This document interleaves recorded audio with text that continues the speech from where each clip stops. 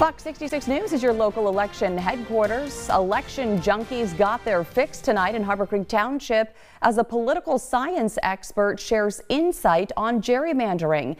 And with a major election on the horizon, opening a dialogue on gerrymandering proves insight on its impact in the U.S. politics. Matt Mathias has more from our studio tonight. Matt.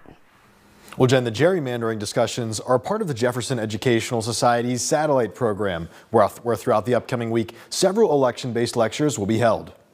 Legislative district lines can be redrawn every 10 years coinciding with the U.S. Census. This opens up the door to the threat of gerrymandering, which is the redrawing of district lines to favor a political party's election odds. The 10 states have switched and they now, they now have bipartisan or nonpartisan commissions create their districts and they also have more competitive congressional elections as a result of that.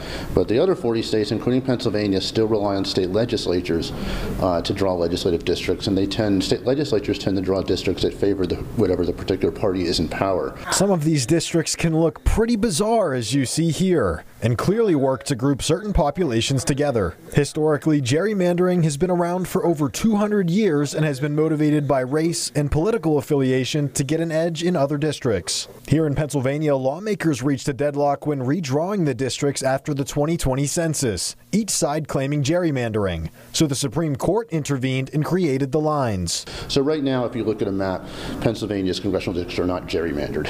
Uh, but that was because of the Pennsylvania Supreme Court intervention. It can the gerrymanders can come back next decade if we don't do anything about it. So what's the solution if it's been done for 200 years? Dr. Speel says the use of nonpartisan commissions is a real option, and in states where it's utilized, it's been fair and has worked well. Pennsylvania has actually done that for its state legislative districts, not for congressional districts. But for state legislative districts, they're drawn in a kind of bipartisan way. And it's probably a better way to do things, but you have to convince, of course, the General Assembly in Harrisburg to give up their power uh, to do that and to switch. But it can be done. And Dr. Speel says gerrymandering has gotten much worse due to the rise of technology, and he anticipates that trend to continue in 2030 thanks to AI. Jen. Matt Mathias in our studio. Thank you, Matt.